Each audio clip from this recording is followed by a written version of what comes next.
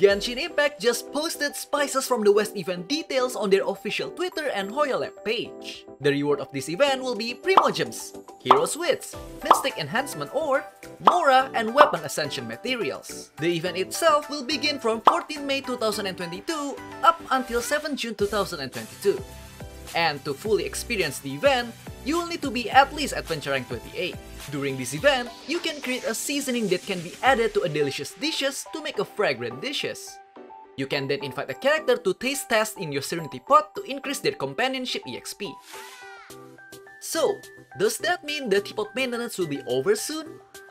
Well, it's a yes and a no, since there's also a point that say, quote, if the maintenance of Serenity Pot placement function has ended during the event, travelers can invite companions who are resting to stay in Serenity Pot and invite character to try out food.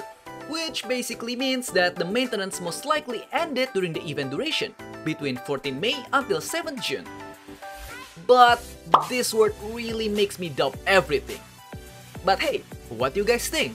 Tell me in the comment section down below.